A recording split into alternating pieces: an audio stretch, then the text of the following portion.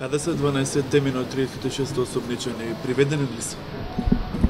Издадени се наредби значи за 36 по 12 лица се уште се трага, тие се најверојатно во Република Македонија. А дали ќе се распише потерница натре во Македонија? Тоа е работа на обвинителството и на судот. се наоѓа помеѓу тие 12 лица, дали има од пратениците... Како?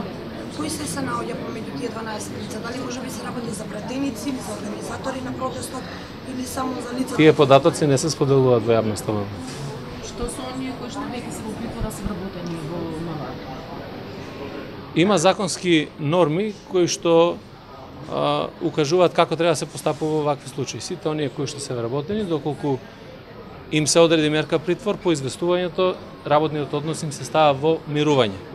За тие кои што до сега не се води дисциплинска постапка, се отвора можност за спроведување на дисциплинска постапка во а, повреда на правата на работниот однос кој што.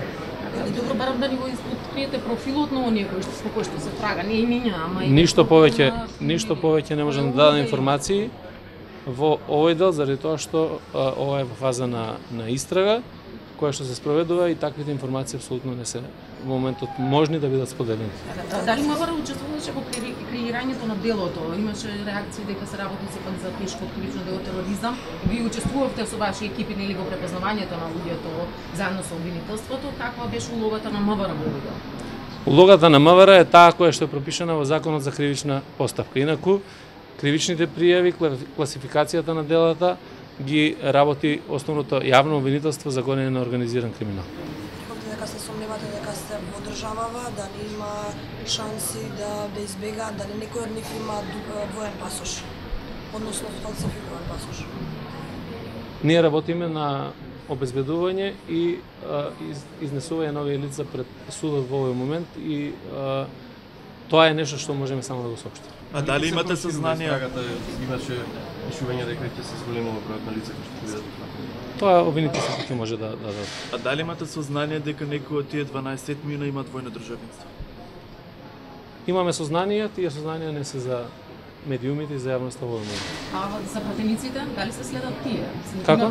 Пратениците кои што се осомничени, кои што се уште се на слобода. Дали се следа нивното движење? Имавме ситуации кои што не избегаа луѓе кои што во овој вакуум период што се оставаше. Во однос на претениците, знаете дека одлука носи Македонското собрание, односно Комисијата за деловнички мандат и имунитетни прашања, а после тоа и собранието на Република Македонија и таму ќе мора да се барат сите одговори во однос на претениците. До каде сте со потрагата со убиецот на Мартин Јанушев? Како? Со потрагата на убиецот на Мартин Јанушев до каде ме Работи Министерството, имаме добри сознанија во овој дел и очекувам дека набрзо ќе биде обезбеден.